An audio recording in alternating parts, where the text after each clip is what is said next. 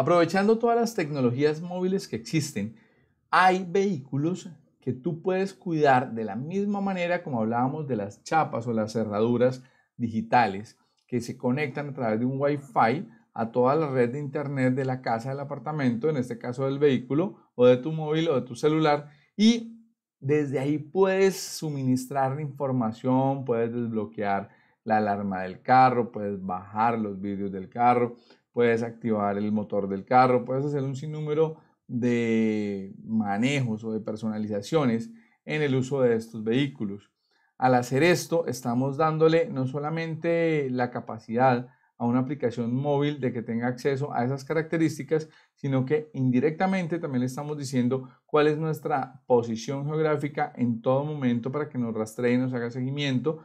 Le estamos diciendo prácticamente con quién vamos porque estamos haciendo uso de tecnologías móviles. Tú sabes que mm, por eh, seguridad, supuestamente, eh, nos pueden espiar a través de dispositivos móviles como Microsoft, como Android, y las cámaras y los micrófonos están normalmente abiertos para capturar muchas de las cosas que ocurren alrededor.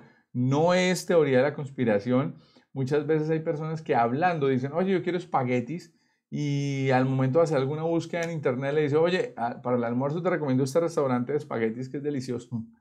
Entonces, es porque al grabar se hace un reconocimiento de lo que estás diciendo y se hace tecnología preventiva o anticipatoria a los hechos que tú quieres llevar a cabo. Esa es otra de las ventajas de la tecnología y otra de las cosas que tenemos que cuidar muchísimo cuando hablamos de tratamiento de datos personales.